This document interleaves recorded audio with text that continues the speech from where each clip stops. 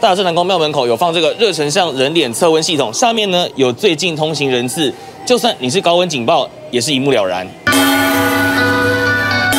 机关署二十九号记者会上说，疫情升温，宗教相关活动防疫升级。四月八号就是大甲妈祖起驾，要求参加信众要有三剂疫苗证明。我要去一缸啊俩，一缸啊，哎，那就听讲我们这边要注三剂疫苗。有注了，有打了。阿你祝贺了，对啊，啊，你今天要拿来办啊？要换卡。实际走一趟正南宫，有信众已经打满三剂，准备十天后绕境活动；还没打的，则是到附近诊所报道。会一起的吗？对。洪先生从事殡葬业，跟朋友要参加五天绕境活动，三十号一早就来打第三剂。哦，因为要去绕境。绕境。对 对。预计去几天？五天，去五天。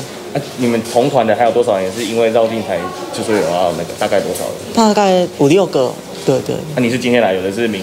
有的明天后天才会来。信众为了绕境不嫌麻烦，诊所说要求三剂。消息一出，来打疫苗的人最多来到四十几个，挤爆诊间。大家绕境嘛，还蛮多人就是一直打电话过来说要是打疫苗这样子，就有变得比较容易。对对对，至少三成以上。针对绕境多点需求，郑南宫回应，参加信众有打第三剂的，会发相关证明识别。另外，沿途经过的公庙或周边团体，这几天会一一告知，请他们配合中央防疫指示。